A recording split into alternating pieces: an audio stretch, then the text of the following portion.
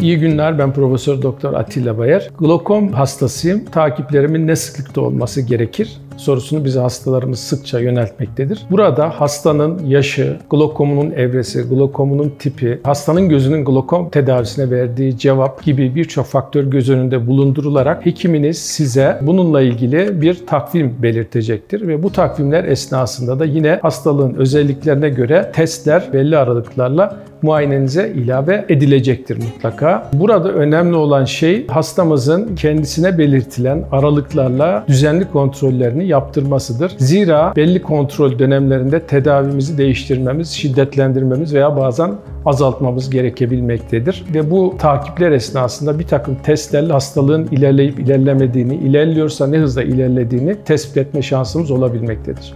Teşekkür ederim.